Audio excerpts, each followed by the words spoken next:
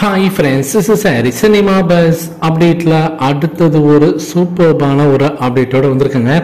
நேற்று லால் சலாம் படத்துடைய பாடல்கள்லாம் ரிலீஸ் ஆயிருந்தது. அதில் வந்து திமிரி எழு அப்படின்ற மாதிரி பார்த்தீங்கன்னாக்கா ஒரு பாடல். ஸோ அந்த திமிரி எழுடா பாடலில் வந்து பாடியவர்களுடைய அந்த பெயர்கள்லாம் நம்ம பார்த்துருந்தோம். ஸோ அப்படி இருக்கும்போது பம்பா பாக்கியா அப்படின்றவர் ஷாக்குல் ஹமீதுன்றவர் ரெண்டு பேருமே இறந்து போயிட்டாங்க. அப்படி இறந்து போனவங்களுடைய வாய்ஸ் எப்படி அந்த பாடலில் ஒழிச்சுது அப்படின்றது எல்லாருக்குமே ஒரு பில்லியன் டாலர் கொஸ்டினாக இருந்தது. இது சம்மந்தமாக நான் காலையில் வந்து ஒரு வீடியோ போட்டிருந்தேன்.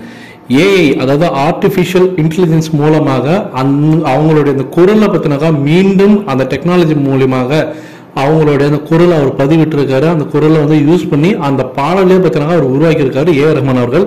இது இந்தியாவிலேயே முதல் முறை. ஸோ அப்படி இருக்கும்போது ஒரு சவால் நிறைந்த ஒரு விஷயத்தை அவர் வந்து இந்த படத்துக்காக அவர் கையில் எடுத்திருக்காரு அப்படிதான் சொல்லணும். ஆனால் இது வந்து இந்தியாவில் தான் முதல் முறை ஹாலிவுட்டில் இதுக்கு முன்னாடி ஏற்கனவே பல பேர் இறந்தவங்களுடைய குரலை மீண்டும் கொண்டு வந்திருக்காங்க ஏ ஆப் மூலியமாக. அப்படி இருக்கும்போது இனிமேல் நம்மளால பாலசுப்ரமணியம் அவர்களோட குரல் ஸோ இது இதுக்கு முன்னாடி இறந்து போனவங்களோட குரல்லாம் கண்டிப்பாக நம்மளால கொண்டு வர முடியும். ஆனால் இது வந்து பார்த்தீங்கன்னாக்கா நிறைய அந்த பிரச்சனைகள் வந்து உருவாக்குது. ஸோ அந்த முன்னாடி இருந்தவங்களுடைய ஒரிஜினாலிட்டி இல்லை. அதுக்கப்புறம்ட்டா காப்பரேட்ஸ் இவங்களுடைய காப்பரேட்ஸ் இல்லாமல் அவங்களோட குரலில் நீங்களாம் உங்கள் இஷ்டத்துக்கு பாட்டு போட்டுக்கிறீங்க. அப்படின்ற மாதிரி சில சர்ச்சைகள்லாம் பார்த்தீங்கன்னாக்கா ஹாலிவுட்டில் இருக்குது ஆனால் முதல் முறையாக இப்போ இந்தியாவுக்கு வந்திருக்கு. ஸோ இது ஒரு பக்கம் போய் நிற்கும்போது அடுத்தது அந்த ஜலாலி சாங் பார்த்தீங்கன்னா கிட்டத்தட்ட ஒரு ஆந்தம் சாங்காகவே மாறி இருக்கு ஹுக்கும் பாடலுக்கு அடுத்தது ஒரு வேற லெவலில் கலக்கின்னு இருக்கு. ஸோ தலைவர் ஃபேன்ஸ் எல்லாருமே விரும்பி விரும்பி ரிப்பீட் மோடில் அந்த பாடலை கேட்டுருக்காங்க எல்லாருமே லூப் மோடில் போட்டு கேட்டுருக்காங்க அப்படி இருக்கும்போது இந்த பாடல் பார்த்தீங்கன்னாக்கா அது சம்மந்தமாக ஒரு நியூஸ் அப்டேட் என்ன வந்திருக்குன்னா இந்த பாடல் வரக்கூடிய ஒரு சில செக்மெண்ட் அந்த கோரஸ் அந்த மியூசிக்லாம் பார்த்தீங்கன்னாக்கா அவர் வந்து பிஜிஎம்மாக யூஸ் பண்ணியிருக்காராம் படத்தில்.